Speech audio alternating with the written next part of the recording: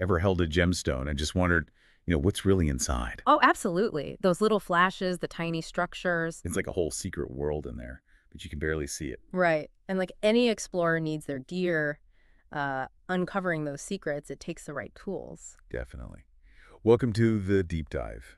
Today we're uh, exploring the essential gemology tools based on this really great guide we found. Yeah, think of this as like your shortcut, your fast tracked to understanding the science behind it all. What? It's pretty captivating stuff. Whether you're just admiring jewelry or you're really into the uh, technical side of identifying gems. Knowing these tools, what they do, it's absolutely key. We just want to give you a clear, you know, straightforward look at them and why they matter. And we know you're coming at this from all different angles, maybe researching a purchase, maybe you're a collector, or maybe just fascinated by shiny things. Totally fine. All welcome. We're going to uh, break it down simply. No need to worry about getting, you know, bogged down in jargon. Okay, great. So let's kick things off with the real basics. The absolute must-haves for looking closer at gems. And right at the top of that list, the jeweler's loupe. Ah, the loupe. That's the classic image, isn't it? The little magnifying glass. It is, but it's, well, it's a bit more sophisticated than just any old magnifier. Right. So what's its main job? Its primary use is really for a close-up look, inside and on the surface, things you just wouldn't see otherwise. Like what specifically? We're talking inclusions, those little natural bits inside the stone, uh, surface marks too, and checking the quality of the cut. Wow. Like a pocket microscope almost. Exactly. That's a good way to put it. So if you're thinking of getting one, what should you look for? There must be loads of different magnifiers out there. There are, but the guide, and it's quite specific on this, really emphasizes getting a triplet lens with 10x magnification. Okay, triplet lens, 10x. Why those specs? Well, the triplet part means it has three lenses combined. Yeah. It's designed to correct for distortion, you know, so the image doesn't look warped, and also for um, color fringing, chromatic aberration, technically. So you get a true view. Precisely. Yeah. And the 10x magnification, that's the industry standard for grading gems. So it gives everyone a consistent benchmark. That makes a lot of sense. Consistency is important, right? So everyone's seeing the same thing. Exactly. It means if someone notes a feature under 10x somewhere, someone else should see it the same way elsewhere. It creates a common language for quality. Okay, useful. Any tips for actually using it? Seems like it might be fiddly. It can be at first, yeah. There's a bit of a technique. Uh, steady hands are key. Resting your hands on a table helps. Right. And the trick is bring the stone close to your eye, then bring the loupe up between your eye and the stone until it focuses. Ah, okay. Stone first, then loupe. Not the other way around. exactly. And oh, always, always make sure the loupe and the stone are clean. Even a tiny bit of dust can hide something or look like something it isn't. Good practical advice. Okay, so from the Superpower Eye tool, let's talk hands. Uh, tweezers and stone holders. Seems basic, but why not fingers? Well, imagine trying to pick up, say, a single grain of sugar and look at it really closely. Tricky. Very. Our fingers are just too big, too clumsy for tiny gems. The guide actually compared it to trying to write with spaghetti. Huh. Okay, I get the picture. So special tweezers then. Yep. Gemological tweezers, they're usually anti-magnetic, which is important so they don't interfere with certain tests or pick up metal bits. Okay. And they have a textured grip, serrated usually, helps hold on tight, and often grooved tips. Especially good for holding onto round stones. Right, stops them pinging away. Yeah. All about precision and uh, not damaging the gems. And stone holders. What are they exactly? They're basically little clamps or grips, designed to hold the gemstone securely in one position. Ah, so you don't have to keep fiddling with the tweezers. Exactly. Super useful when you're under magnification or doing tests. It stops you constantly readjusting, lowers the risk of dropping it. Makes sense. Plus, it keeps your fingers off the stone itself. No smudges. Yeah, you don't want greasy fingerprints messing up your view, especially if you're looking for tiny details. Or messing up tests. This combo, tweezers and holders, it really underlines how crucial careful handling is. Definitely. And speaking of clean views, the guide really stresses cleaning before you test. It's not just for looks, is it? Oh, absolutely not. It's vital for accuracy, especially with optical tests. How so? Well, any dirt, grease, even just a thin film on the surface, it can change how light passes through or reflects off the gem. And that could mess up your readings. Totally. It could lead you to the wrong conclusion entirely with some of the instruments we'll talk about later. Okay, so cleaning is step one. What's usually in a gemologist's cleaning kit? You typically find um, soft brushes, maybe an ultrasonic cleaner, though careful with that, only for durable stones. Right. Not for everything. No. Lint-free cloths are essential for polishing without scratching. And maybe some alcohol wipes for stubborn stuff. And keeping the tools clean, too, I guess. Just as important, dirty tools mean inaccurate results. Makes sense. Then there's storage. Often overlooked, maybe. But it's more than chucking things in a drawer. Oh, much more. Proper storage protects the gems and the tools. The guide mentions things like padded gem boxes, you know, individual compartments, Yeah. anti-tarnish bags for some gems or silver settings, labeled compartments so you know what's what. It sounds like organization is key. It really is. It shows you're serious, prevents damage, keeps tools good, makes everything easier to find. It distinguishes, you know, the amateur from the pro. Good point. It's about protecting your investment, really, Mm-hmm. in the stones and the tools. Okay, so that's the basic kit covered. Now the guide moves into advanced gemological instruments. Sounds like things get serious here. Yeah, this is where the analytical power really ramps up. These Mhm. tools let us dig into a gem's fundamental properties by seeing how it uh, interacts with light. Okay, like what? Well, the guide lists several key ones. There's the refractometer. Refractometer, what's that do? It measures the refractive index, basically how much light bends when it enters the stone. It's like a like a fingerprint for many gems. Ah, unique bending properties. Yeah. Okay, what else? Then there's the polariscope. That helps figure out if light travels through the gem in one direction or splits into two. Single or double refraction. Another key identifier. Very important one, yes. Then the spectroscope. This one analyzes the light that the gem absorbs. What does that tell you? It can reveal clues about its chemical makeup, what elements are causing its color. Really fascinating. Wow, okay. And one more mentioned is the dichroscope. Simpler tool, this one. It shows if a doubly refractive gem shows different colors from different angles. Oh, like those stones that seem to shift color slightly when you turn them. Exactly. That property is called pleochroism. The dichroscope makes it easy to see if a gem has it. Pretty neat. That is cool. Quite a lineup of specialized gear. It's good to know what's possible for deeper analysis. Yeah. Okay, next, the guide talks about tools for measuring physical properties. So moving away from light, more towards tangible stuff. Exactly. Quantifying physical characteristics, the guide highlights the Mohs hardness kit. Ah, the scratch test. I've heard of that. Yep. It's a set of minerals, each with a known hardness. You carefully try to scratch the unknown gem with them, or see what scratches it, to figure out its hardness on the Mohs scale. So diamond is 10, the hardest. Right. Only a diamond scratches a diamond. Quartz is 7. It can scratch glass, which is around 5.5. Knowing the hardness helps identify it and tells you how durable it might be. Useful for jewelry choices. Very useful. Yeah. The guide also mentions specific gravity testing, using special liquids or uh, precision balances. Specific gravity, that's density, right? Essentially, yes. How dense the gem is compared to water. Another unique property that helps pin down what it is. Amazing how these sort of simple sounding tests give really valuable clues. Yeah, scratching stones and weighing them. Yeah. Surprisingly scientific. Okay, now, light-based testing tools.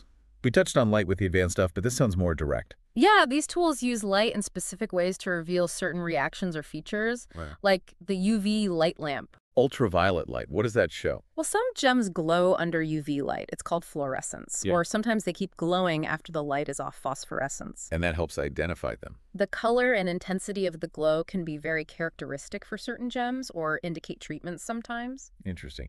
What else uses light? There's fiber optic light, basically a very bright, focused beam you can direct precisely, good for examining specific spots. Okay. And dark field illumination. This is clever. You light the stone from the sides or below against a black background. What did that do?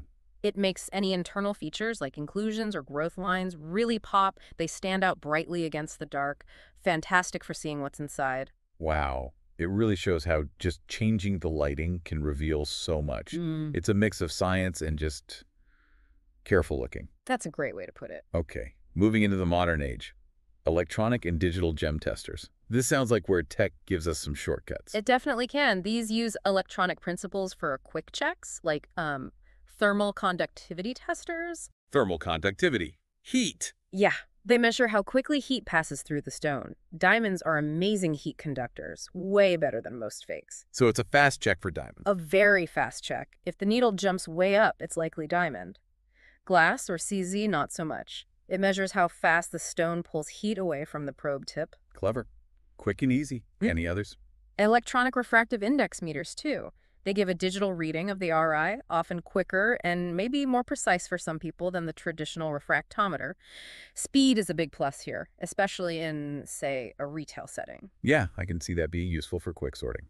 Okay, now for even more detail, the guide mentions microscopes and imaging equipment. Loupes are great, but microscopes, yeah, that's another level. Oh, absolutely. Gemological microscopes offer much higher magnification, sometimes up to 60x or more and they often have specialized lighting built in dark field, bright field, overhead. So you can see really fine details. Exactly. Tiny inclusions, growth patterns, evidence of treatments like heating or filling, things you'd miss with a loupe. It's critical for really accurate ID and grading. Makes sense. And imaging, like taking pictures. Yep. Photography setups are becoming really important for documenting stones, think insurance, appraisals, but also for study. Sometimes a good photo reveals details you missed looking directly. Right. A permanent record you can zoom into later. It's not just seeing, it's documenting and analyzing. Uh -huh. Okay, then there's software and digital tools. Tech creeping in everywhere. It really is. There's software now that can help analyze data from other instruments. You input readings, and it helps narrow down possibilities, maybe even generates reports. Like a digital assistant gemologist. Sort of. And mobile apps, too quick reference guides, databases. Some even use AI. You know, you take a picture and it gives you a potential ID to start with. Wow. The field's definitely evolving. It's like carrying a library in your pocket. It is changing fast. Now, what if you're not in a lab? The guide talks about portable and travel-friendly kits. Sounds great for enthusiasts on the go. Yeah, this is really practical for gem dealers, appraisers out in the field, or even hobbyists maybe going to gem shows or hunting. What goes in a basic field kit? Well, definitely a good 10x triplet loupe. That's non-negotiable. Uh, tweezers, a portable light source, maybe a small LED torch, perhaps some basic hardness picks. The essentials. Exactly. And there are even compact versions of some other testers now, like portable refractometers or UV lights. It's about having key tools handy wherever you are. That sounds really appealing, actually, for traveling or gem fairs. Hmm. Now, for people wanting to get more serious at home, the guide covers building a home gemology lab. Does it have to cost a fortune? Not to start, no. The guide suggests being budget-friendly initially. Focus on those fundamentals we talked about first. Loupe, tweezers, cleaning stuff. Right. Maybe a basic hardness kit. Get really good with those. Then, as your interest and, frankly, your budget allows, you can add more. So grow into it. Exactly. Build your setup over time. The guide likely distinguishes between what's essential to start versus what's optional or more advanced. That makes it feel much less intimidating. And to help figure out what to buy when, there's a section on choosing the right tools for your skill level. Yeah. Super important, right? Don't want to buy gear you can't use yet. Precisely. For beginners, the real goal should be mastering that basic kit, getting really comfortable and proficient with the loupe, tweezers, proper handling, basic observation. Build the foundation first. Yes. Then, as you learn more, maybe add a dichroscope or a UV lamp, something that adds another layer of testing you understand. The guide probably gives pathways like beginner tools, then intermediate, then advanced. Tailored recommendations. Yeah. That's helpful. Yeah. Okay, practical question. Where do you actually buy this stuff? The guide mentions reputable suppliers. Yeah, you need to find places that specialize in gemological equipment. Could be online stores, could be physical suppliers. Buying from known sources is key for quality. So you know the tools are accurate. Exactly, and that they'll last. The guide might also touch on buying new versus used. Used can save money, but you need to be careful. Check the condition, calibration if needed. Good points. Buyer beware, especially with used precision tools. And once you have them, it's not set and forget. Proper care and maintenance is in the guide too. Absolutely essential. Like any precision instrument, they need looking after. Regular cleaning is huge, not just gems, but the lenses on your loupe, microscope, refractometer. Dust and smudges are the enemy again. Always. Proper storage too, keep them safe from damage, moisture. And for the more complex tools, calibration is vital. Making sure they're reading correctly, servicing them periodically. If you neglect that, you risk inaccurate results which could lead to misidentifying a gem, overpaying, underpaying, costly mistakes. A little maintenance saves a lot of headaches. Definitely sounds worth the effort. Now, even with perfect tools perfectly maintained, you still need to know what you're doing. The guide includes common mistakes to avoid. What trips people up? Well, a big one is just misreading the results. Especially with tricky instruments like the refractometer or spectroscope, it takes practice and knowledge to interpret what you're seeing correctly. So learning the theory is as important as having the cool. Absolutely. Another mistake is skipping that calibration maintenance we just talked about. Leads to unreliable data. Right. Complacency. Yeah. And also just using the wrong technique. Holding the loupe wrong, not having the right lighting for a specific test. Little things that can throw off the results. Good reminders. Having the gear is step one. Using it right is step two. Okay, finally, the guide looks to the future of gemology tools. Mm. What's on the horizon? Sounds exciting. It is pretty dynamic. The guide probably mentions ongoing tech improvements. Yeah. Maybe more sensitive ways to analyze light absorption, even better portable tools. Smaller, faster, better. That's often the trend, yeah.